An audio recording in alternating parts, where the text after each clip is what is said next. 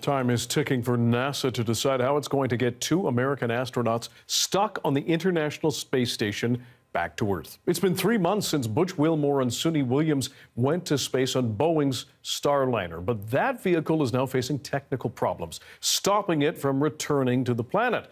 Joining us for more is Aaron Boley from UBC's Physics and Astronomy Department. Aaron, we appreciate you being here. What is it like for these astronauts who went up to space thinking they'd be there for eight days and could be there for months?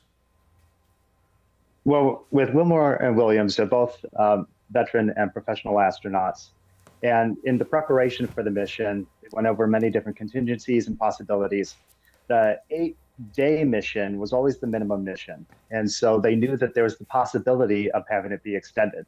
Now, whether they were thinking about, you know, going from eight days to eight months, that's another matter. But um, they've already integrated into the uh, to the crew on station. Um, they're doing work up there, maintenance work, uh, as well as carrying out science uh, activities. And so, for the professional astronaut, this is part of being an astronaut. This uncertainty. Space uh, space flight is not a routine task, and we're seeing that uh, play out in real time. Just to clarify, with them being up there, more people being up there than expected, do they have enough food and water and all that?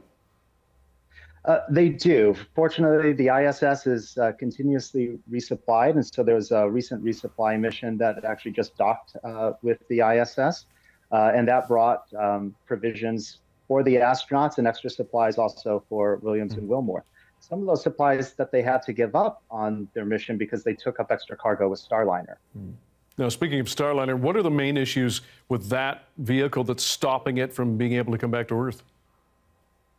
Ultimately it's about attitude control. It's the thrusters. Um, so when they were docking with the ISS, there was an issue with uh, some of the thrusters, not all of them. They were able to eventually continue. But basically, it, was, it, it deals with the helium control. And they think what happened is that there was some overheating in the system and it causes some expansion uh, of materials that ended up blocking some flow. They're not sure whether that will happen on the reentry. And that's one of the things that they're trying to figure out attitude control is incredibly important for that reentry and getting the spacecraft configured in just the right way for safety. So they have to make sure that that's done right well. So, depending on how long it takes Starliner to get fixed, if it can get fixed, are there other options yeah. to get the two astronauts back to Earth?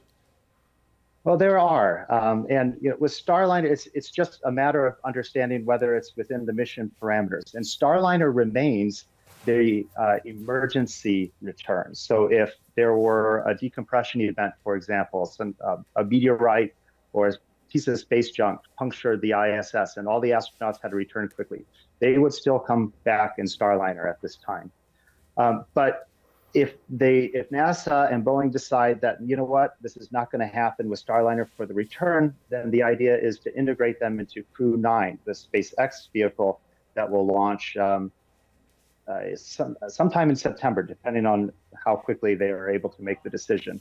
And they're going to fly then um, em uh, empty two seats, um, and with that carry new spacesuits so that they'd be able to uh, come back with the Crew 9 Dragon.